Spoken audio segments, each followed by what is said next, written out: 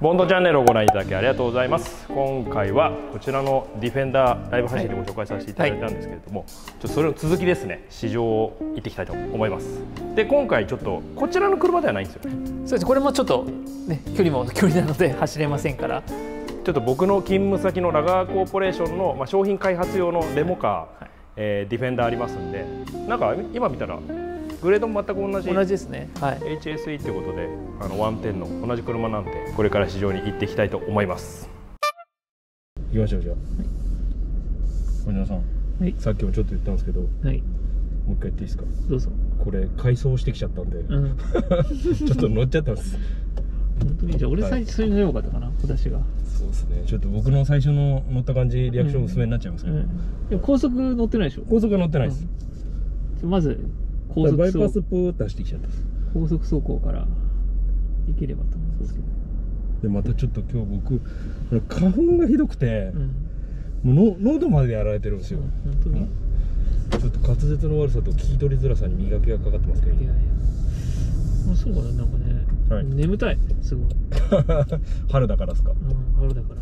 シャキッといきましょうシャキッと。シャキッとね、はい、でとにかくこの車でかいんですよ。でかくないですか、うんでかい。運転した感じはやっぱでかいですか？でかいっす。でかいですか？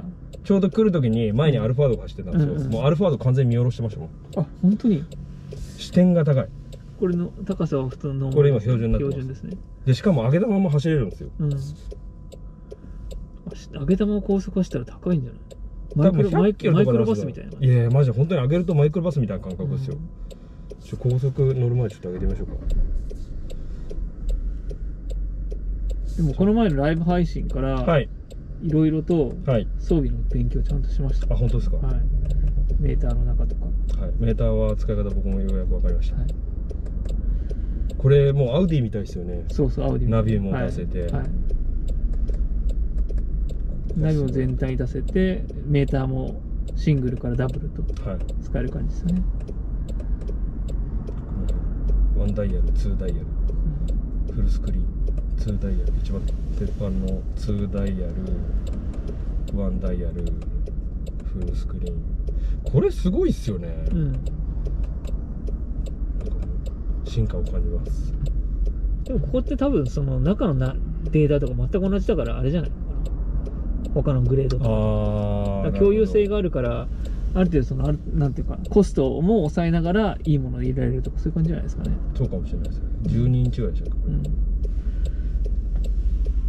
でかいと言われて。いやこれカメラすごいっすよね、うん、カメラ、ね、いやちょっとでかさは感じますけどこれだけのなんていうんですか取り回しのサポートがあれば、うん、えでもそんな感じも今高い一番高い今高くなってます。高くなってますよね。めっちゃ高くないですかこれ？な。んかマイクロバスとかなんかもう積載車の視点じゃないですかこれ。ああ歩道を見てくださいだって。これ絶対だってそのキノコミラーのところ。子供いたら見えないですよこれ。見えないね、はい、そのためのカメラです。ですね。はい。すごいですよね。こうしていただくと。ね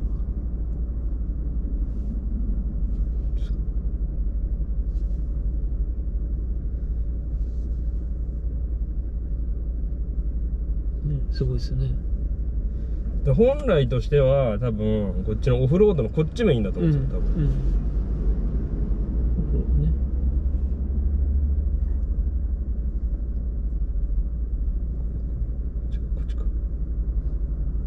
これのなんかこれか。あこれですね、うん、これメインだと思うんですけど、もう全然こう逆に視認性良くなるん。で、市街地でも使えるんじゃないかなってオフロードとオンロードとすごくないですか？これちゃんとボディの下まで映ってるんですよ、うん、このライブでないライブでないとはちょっともうちょっと日本語頑張ってほしかったですよ、うん、これ下って足回り下ってことですね。そうそうそうそう。だからタイヤがちゃんと乗っかってるかどうかとか、もう見れるいいいですか？高い位置で。いやいいっすよ。これさ高い位置勝手に下がるんですかね？走行距離ってああスピードで。スピードでってことですね、はい、下がんないんじゃないもしかしたら高いまんまですかね？だって今そこそこいい距離距離走行で走ってますよ。そうですね。一応60キロなので60キロ走ってございます。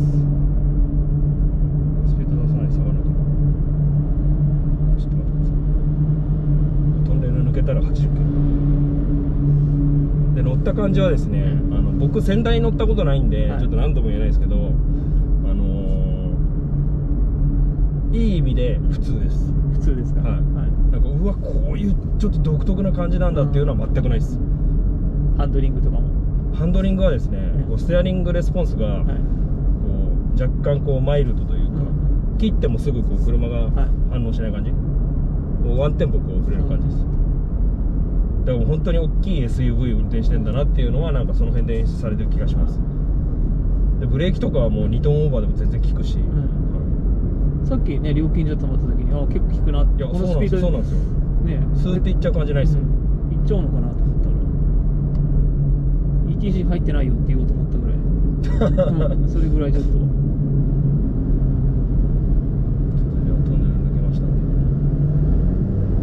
で。この 2000cc300 馬力の加速は全然悪くないです。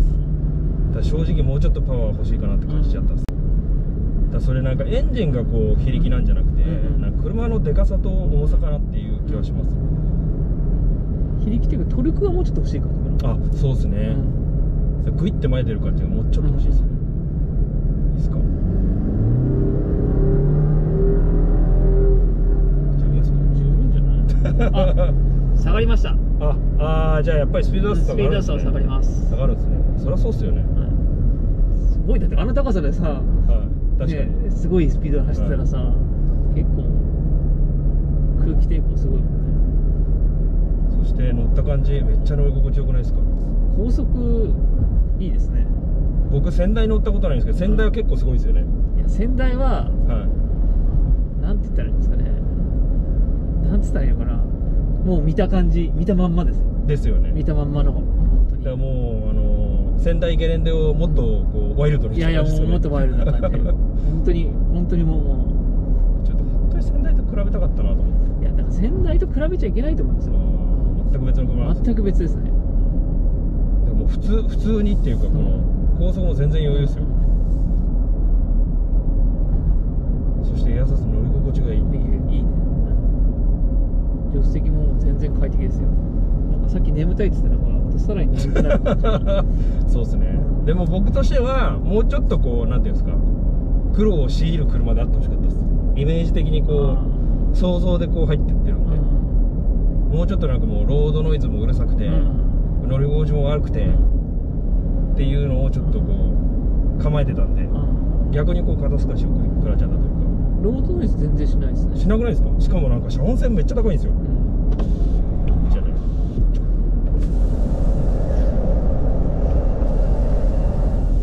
いやなんかあのー他のレ YouTube のレビューでちょっとまあ見見たんですよ。はい。風切り音結構するななんて言ってるのもあったんですけど全然しなくないですか？全然しないですよ、全然しないですよね。まあ、もちろんその5号の法定速度80キロなんいやいやまあまあまあそうですけど。でも来る前に洗車してきたんですよ、うん。思ったんですけどミラーの付け根とか、ん。ちゃんとこの風切りがついてるんですよ。うんでその辺でも結構低減してるあこのそうですよねついてますね風切りもそんなしないですよね。全然しないいやいや快適。快適ですね。なんかエアロパーツつけた車なんかもっとしますよ。ねウイングついてるんですよ。そうなんですよ。快適すぎるんですよ。ゲレンデと比べて窓の高の角度ってどうですか？これはなんかもうちょっとうん。欲しい気がします。ただ視点が高いんで全然悪くないですよ。いやでもねさこの前ああ G350 とどっちっていう話になったじゃないあそうですよ。乗ったらまたさらに悩んじゃう感じですねこ小沢さん今日結論出さないといけないですよ。れ後で乗れるのかな私。はい乗りましょう。高速ちょっとドライバーチェンジしましょう途中で。僕は本当にちょっとこうそうきたかって感じですね。うん。あ正直僕も今初めてはい。高速乗りましたけどイメージちょっと違いましたね。違いましたよね。全然違うもうちょっとこう正常進化を期待してたら全然違うものが来たみたいな。そうそうそうそうただこれベンチレーションは期待を裏切らないんですよ。さすがランドローバーだなみたいな寒いぐらい効くっていう。本当に？はもうだってオンにした瞬間にいはい。来てます、お尻めっちゃ涼しいですよ。ね、うん、涼しい。れでもレビューのし仕様がある意味難しいね。そうですね。あと今回ちょっとオフロード行ってみるなんていう話もあったんですけどね、うんうんうん。ちょっとただ行ってもこうオフロードこれで本当に行く人って本当にごくわずかじゃないですか。そこを僕ら素人がこうレビューしてうん。参考になるのかっていうとまたちょっと微妙なんで、うん。今回はこう高速とうん。あとまあ一番使用の頻度の高い市街地をちょっと走ってみるっていうちょっと狭いところね。そうですね。行ってみたりどこまで行けるのかちょっと行ってみたいですよね。やっぱりどのこうレビューとか見てもこうでかさをやっぱりみんな書いてますよね、うんうんうん。2メーター2メーター5メーターを。せっかくせっかくさあのこれだけ人数で乗ってるから狭いとこ行っても大丈夫だよね。降りて降りて見られるからそうですね。そうですね。カメラもついてますから大丈夫ですよ。いやもうでもちょっとこの快適装備とすげえ冷てえ。超冷たいですよね。冷たい冷たいなんだったらもうちょっとの濡れてるんじゃないかっていうぐらい冷たいですよね、でこれでもあれあれでしょ？であ調整できますできますできます。調整できますでしょ？いやそこはさすがにランドローバーだなって、レンジとかも超冷たいじゃないですか、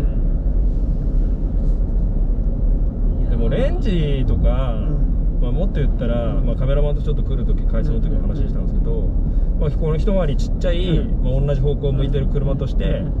あのーあれなんだっけ？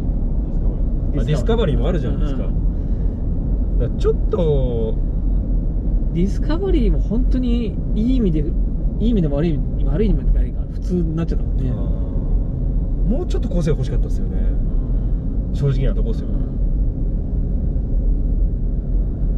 比べちゃダメなんですよね。だどどこで個性が出るかですよね。そうですね。だその一番そのオフロードにな行かないと個性出ないよっていうのが、うん。ああそうですね、うん今回走って走り行かないですからねオフロードは。もしかしたらオフロードはものすごい能力高いかもしれないですけどね。いやいや能能力高いでしょ。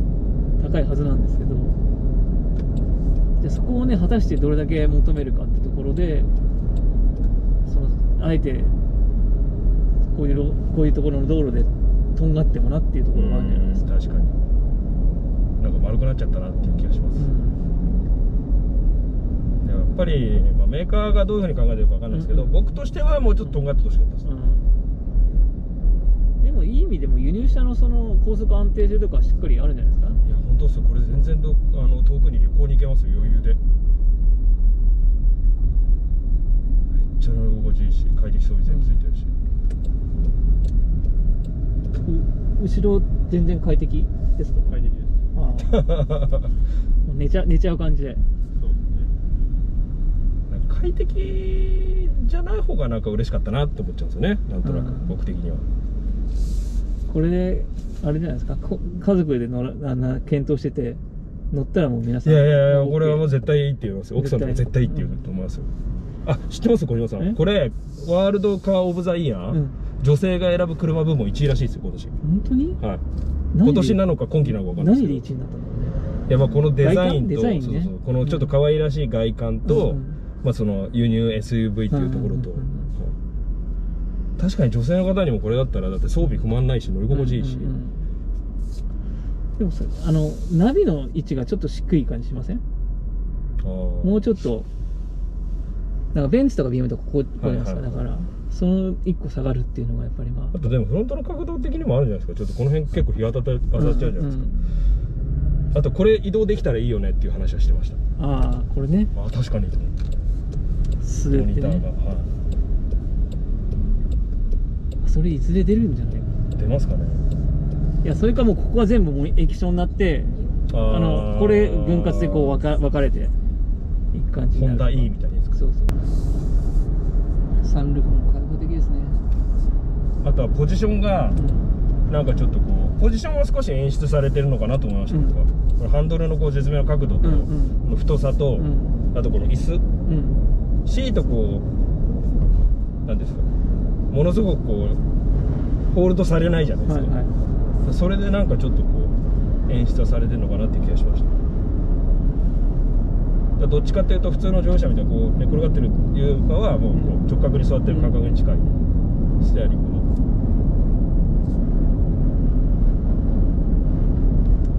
全然風今日風結構強いんですけど全然しません。全然聞こえないですよね。全然聞こえない。で橋の上ですけど全然まあねしないっていうことはしないですけど、うん。全然。っていう感じです。ちょっといつもみたいに「おおすげえ!」っていうリアクションもなかったんですけど、ないですね。ちょっと乗ってきちゃったえ？いやでもこれ乗ってきてもうわすごいってなんのかな。これでうわすごいってなったらちょっとやらせっぽくないそうですね。正直に言いましょうね安定ですね。だからちょっと仙台を乗ってみたくなりました僕は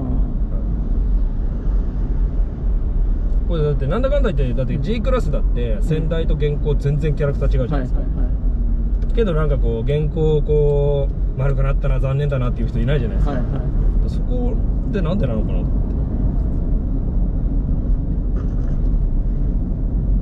でも G クラスってなんかその例えばあの締まりの悪いドアをこう、再現してたりとか、はいはいはいなんかこう方向違うかもしれないけどちゃんととんがってるところとんがってますよね、正直僕はあのー G クラスって思っちゃいまし G クラス。あじゃあ僕乗ってみてですね。たこちら乗ってくださいはい。ただ僕このクラスすごくいいなと思ったのは、ね。嫌味がないですよねこれ、はいはい。うん僕多分 G クラスいいなとか言ってるんですけど、うん実際 G クラス家に泊まってたら、うん土屋さん家の旦那さんベンツ乗ってるっていう、はいはい。多分視線は自分で感じちゃうと思うんですよ、はい。はい。でこれだったら、うん。まあ高いのか安いのか、え下手したらどこの車か分かんないじゃないですか,、はいはいはい。その辺の嫌味のなさはいいなと思って、あとは僕みたいな子供いる人にはちょっといいかもしれないです。だってフロアもこのうん。汚し放題だし、うん。ラフに使えるじゃないですか、うん。車自体、うん。うん。この内装もこん。の丈夫なやつだし、うんレザーの質感とか丈夫ですよね多分。そうでもないのかなえー、でも結構このしっかりめのレザーっすしっかりめのレーザーですよいわゆるあの薄いナッパレザーとかじゃないからははは多少ラフに扱っても大丈夫だと思うんですよ、この辺だから先代と現行と同じ車じゃないんですよやっぱり。違いますね。でもディフェンダーって言われるとやっぱり先代を想像しちゃうんですよ、はい。もう違う車じゃないですか。なんかディスカバリーロングみたい自分逆にディスカバリー乗りたくな。りましたなあーディスカバリーちょっと乗ってみたいよね。ディスカバリー普通だよ。あ普通なんですか？うん。でもどっちかっていうとこうランドローバーシリーズの中でオフロード向いた車じゃないですか、うん。そこもやっぱりあれじゃないかな。オフロードに行かないとああ分かんないのかな。そうなんですかね。でちょっとディスカバリー乗ったこと2人とも乗ったことないですけど、うん。ディスカバリーっぽくなりましたよねって まあでも確かになんか僕の想像するん。ディスカバリーとか、まあでもこの両発見本当にでもオフロードかもしれないですよねだって今時こんなオフロード装備全開で、うん。水深9 0センチまで OK だか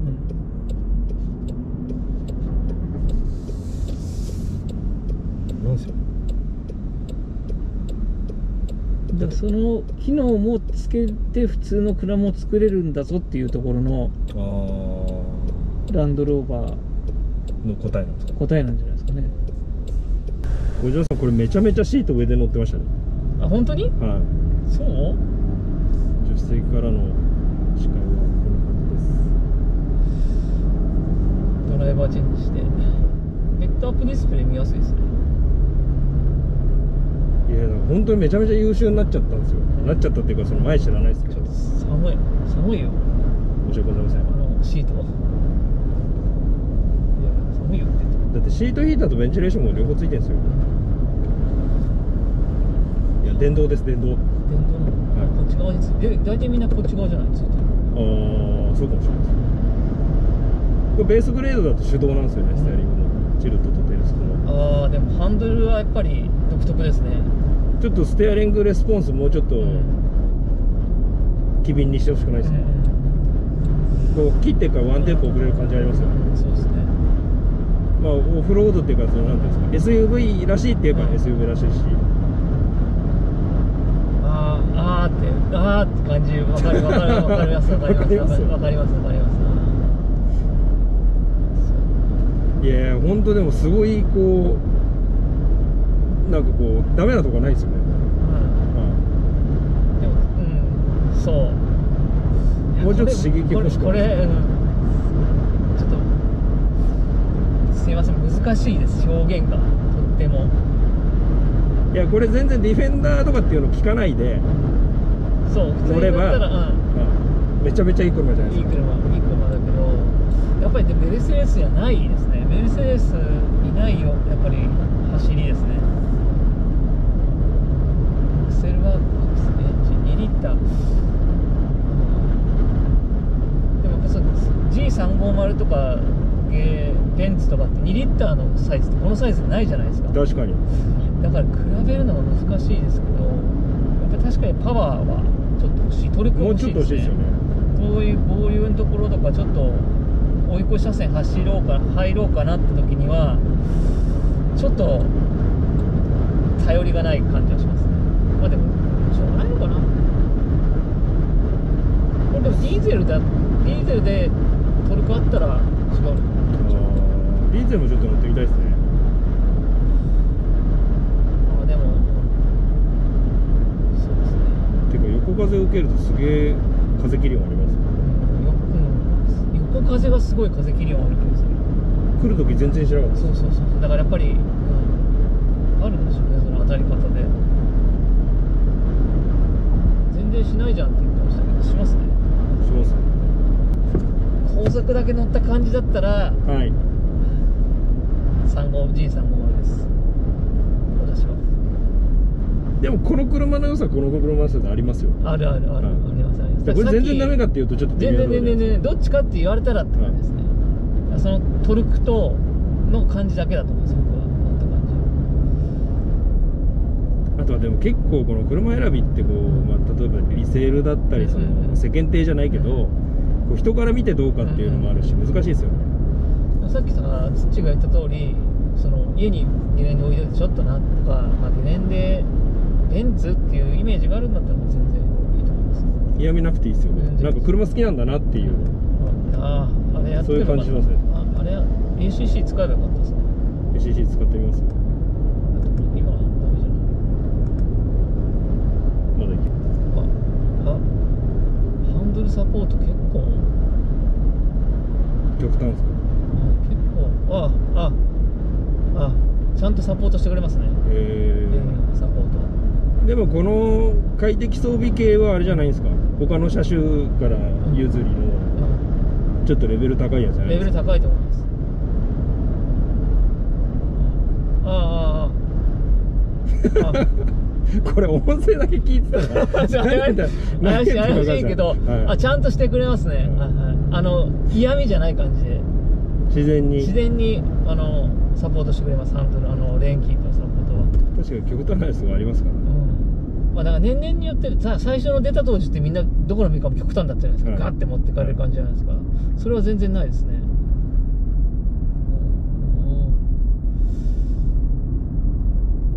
うん。いやいい車ですよそうなんですよ。いい車なんですよ。いい車です。いい車です。全然いい車ですね。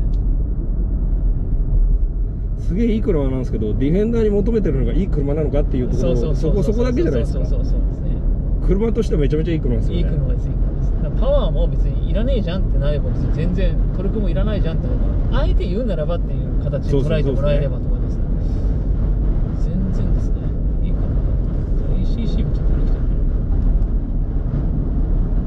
ほらほらほらほらほらちゃんとちゃんとグッて戻すんじゃなくてん。グッグッてちゃんと戻してくれます。ねえー自然な感じで。自然な感じで戻してくれます。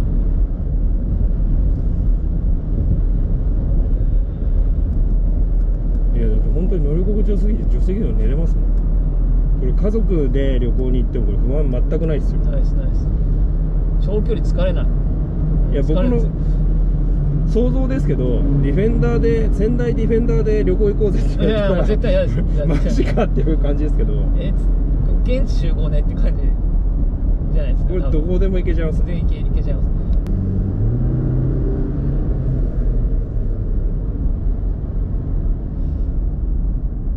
まあ結論。はい。い車です、いいい車なんです。はすごくよくできた。いい車い、いい車ですだからでも特徴がいい意味で悪いのちょっとそのなんなんとなくあれがないのでそうなんです。もうちょっと尖ってほしかったリです、ね、リアクションとしては、はい。見ている方に伝えるのがちょっと難しいですよね、尖ってほしかっはい、だからアルファとかだったらたああそうですね。もっとおすごいなーとかって言えるんですけど丸くなっちゃいましたね。いいいい感じで。ただ逆にでもその仙台ディフェンダーみたいなの求めてない人からしたら、いやいやもう全然。もう最高じゃないですか。最高です最高です。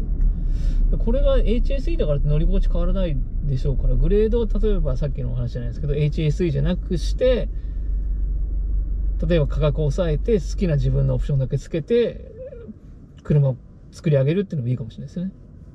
うん、そしたらある程度まあでも新車今買えないですけどある程度買えるようになったらね7 600万500万700万800万ぐらいでこれがいけるとなったらもうすごいいいと思います。基本的にレンジレンジじゃないランドローバー組み立てる感じですからね。ね。自分の乗りたい車をうん。細かく、新車からの後付けできるオプションあーまあまあまあってでできないオプションとかもあるので。サポート関係とかそうそうそうそこはちょっとしっかりと考えてつけてもらった方がうん。いい気がしますね。余裕がありますね。ディフェンダー現行ディフェンダー。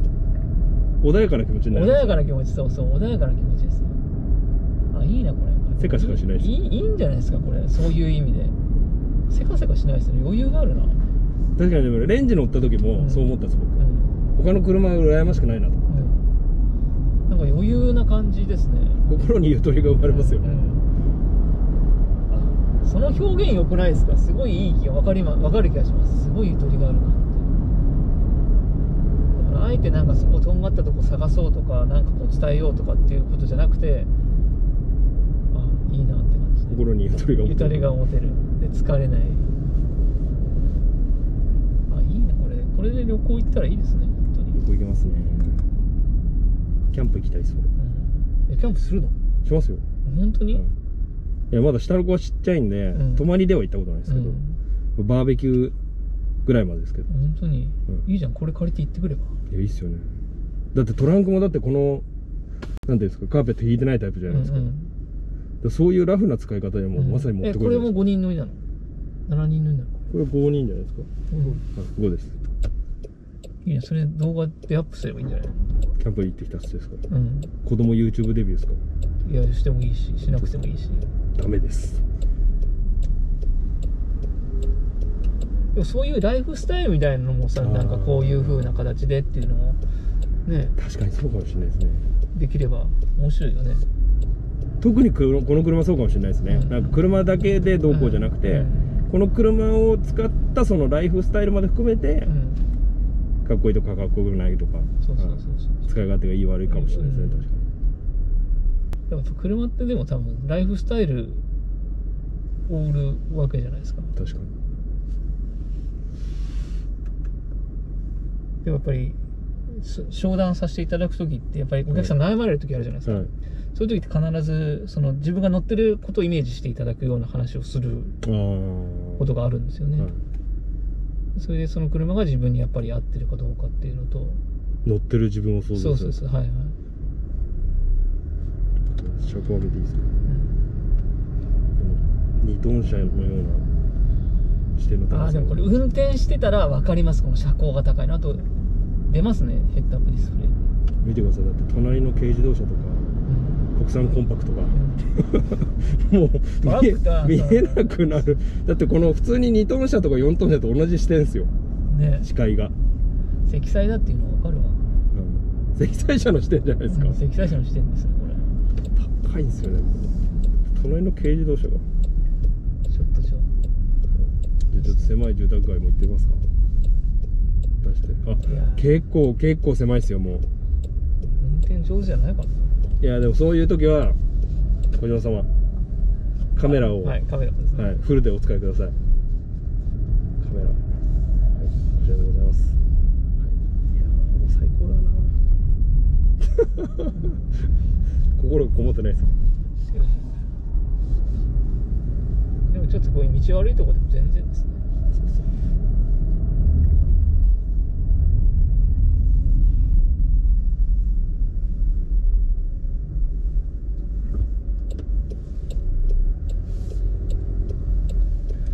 でも実際多分ディフェンダー買われても、うん。ほとんどの方がこう都内とかで乗られて、うん。こうこういう感覚じゃないですか。多うん。分細いとこうん入って、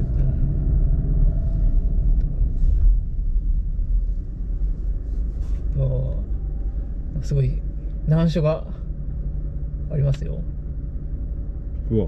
前からトラックが来てしまいましうた、ん。でもこんな時もカメラでサポートしてもらいながら、いやでもカメラのサポートもうん。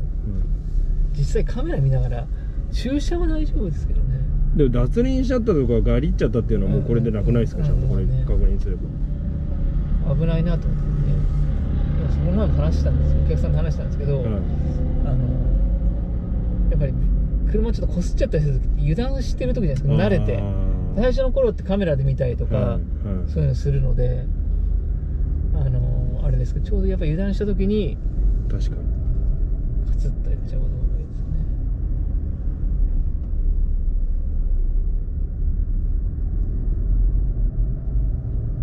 でも降りて確認しなくちゃいけないのはもうなくなりますよね。うん基本。ね。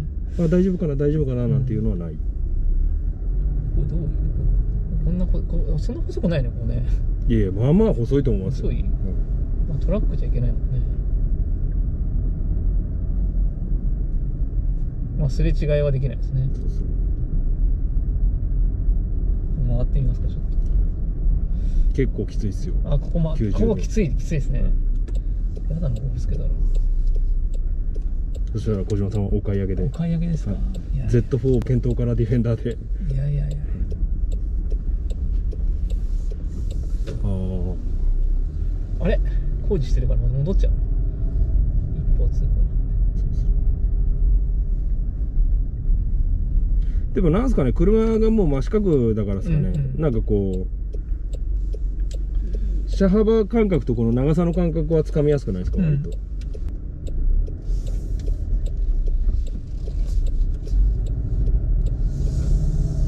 あーでも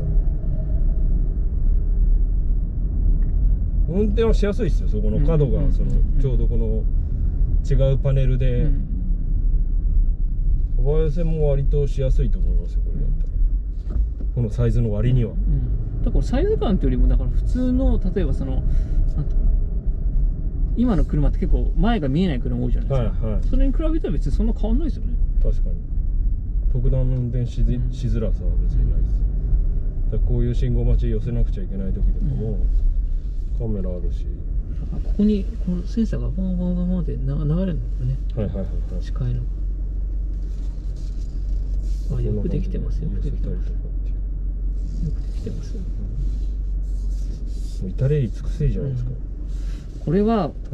女性の方乗っても慣れてもらえればいやいや全然全然全然乗れると思いますよ。全然乗れるヘンリーあのーちょっとむ昔の大きい車のだったら全然センサーとかないわけじゃないですか、はい。そういうの考えたら全然いいですよね。全然誰でも乗れちゃうんですよ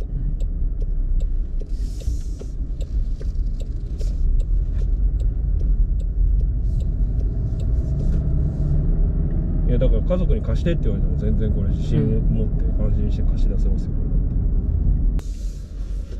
れ。うーん。うん。最終的に何を伝えたいんでしょうね。最終的にはですね、ん。乗った方がいいですみんな。みんなどうしたら乗れないからいやいや乗れないから見るでしょまあまあまあまあそうですね。んうんうんあれこれディーラー行っても試乗車とかないんですか今？